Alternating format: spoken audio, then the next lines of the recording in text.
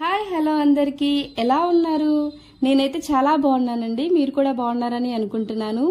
ప్ర seasonal fruits అనేవి మనకి ప్రకృతి ప్రసాదించినటువంటి వరం అండి అయితే నేను నిన్న మా అత్తగారింటికి వెళుతూ ఉంటే దారిలో నాకు ఒక చెట్టు కనిపించింది. కనిపించగానే వెంటనే బండి ఆఫ్ చేసి ఆ చెట్టు దగ్గరికి వెళ్ళి ఈ వీడియో తీసి మీకు పెట్టే మీకు పోస్ట్ చేస్తాను ఆ చెట్టు అసలు ఏమనుకుంటున్నారా? వాక్కాయ చెట్టు అండి.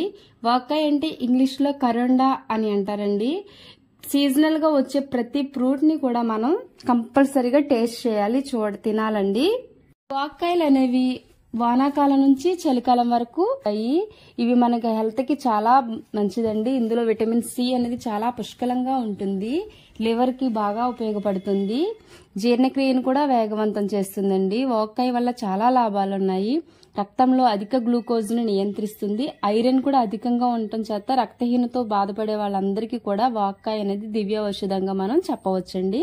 తో కూడా మనం వంటలు చేసుకోవచ్చు. వాక్కాయ పప్పు పచ్చడి అన్ని తీసుకోవచ్చండి. దీని టేస్ట్ ఎలా ఉంటది అనుకుంటున్నారు కొంచెం పులుపు వగరగా ఉంటుంది. అందుకే దీనిని చింతకాయకు తక్కువ ఉసిరికాయకు ఎక్కువ అని మన పెద్దలు చెప్తూ ఉంటారండి. పెద్దల మాట ఎప్పుడు మనం తీసివేయకూడదు.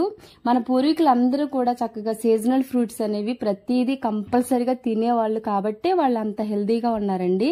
ఈ వాక్య చెట్టు చూడగానే మా చిన్నప్పుడు జ్ఞాపకాలన్నీ గుర్తుకొచ్చాయండి. చిన్నప్పుడు మా ఫ్రెండ్స్తో కలిసి వెళ్ళి తోటలో వాక్కాయలు కోసుకునే వాళ్ళం. నెక్స్ట్ ఇంకా నెక్స్ట్ సీజన్లో అల్లికాయలు ఇవన్నీ ప్రతి ఫ్రూట్ దొరుకుతుందండి. ఇలా సీజనల్ ఫ్రూట్ ఫ్రూట్స్ వచ్చేవన్నీ కూడా మనం తినాలండి. ఇవి మా- ఇప్పుడు ప్రజెంట్ అయితే సిటీలో ఉండే వాళ్ళకైతే మార్కెట్లో కంపల్సరీగా ఉంటాయండి. మార్కెట్కి వెళ్ళినప్పుడు కంపల్సరీగా అందరూ వాకాయలు కొనుక్కుంటారని అనుకుంటున్నాను. ఈ వీడియో కనుక మీకు నచ్చినట్లయితే లైక్ చేయండి షేర్ చేయండి అండ్ సబ్స్క్రైబ్ చేయండి. సరికొత్త వీడియోతో మళ్ళీ మీ ముందుకు వస్తాను. Thank you all